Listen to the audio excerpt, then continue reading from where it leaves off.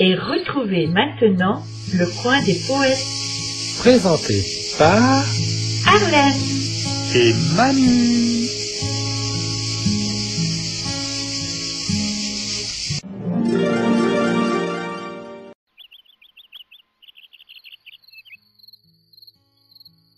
Titre. Le mari, la femme et le voleur. Un mari fort amoureux, fort amoureux de sa femme, bien qu'il fût jouissant, se croyait malheureux.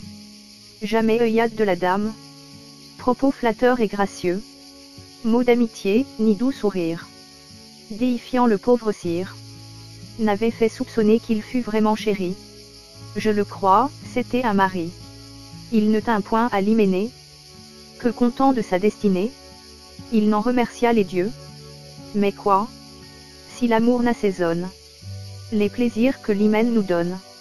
Je ne vois pas qu'on en soit mieux. Notre épouse étant donc de la sorte bâtie, et n'ayant caressé son mari de sa vie. Il en faisait sa plainte une nuit. Un voleur interrompit la doléance. La pauvre femme eut si grande peur. Qu'elle chercha quelque assurance. Entre les bras de son époux. Ami voleur, dit-il, sans toi ce bien si doux me serait inconnu.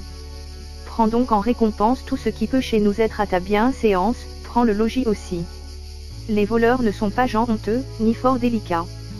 Celui-ci fit sa main.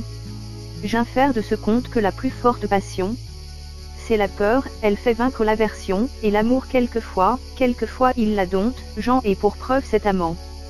Qui brûla sa maison pour embrasser sa dame, l'emportant à travers la flamme. J'aime assez cet emportement. Le comte m'en a plu toujours infiniment, il est bien d'une âme espagnole. Et plus grande encore que folle. Auteur Jean de La Fontaine.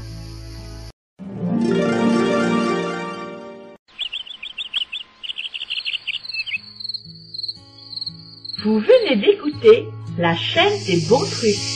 Présenté par Arlène et Manu.